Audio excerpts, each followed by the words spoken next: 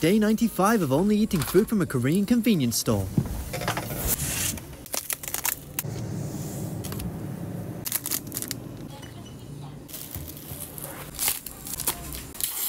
We got rainbow sorbet water, peach yogurt water.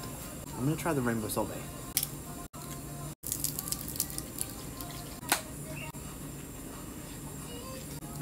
Just a quick sip of this one, see if it's any better.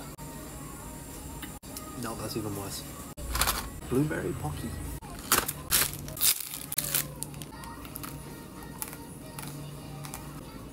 Bulgogi and shrimp burger.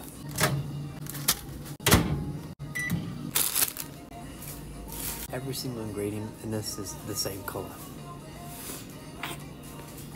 Better than a Big Mac.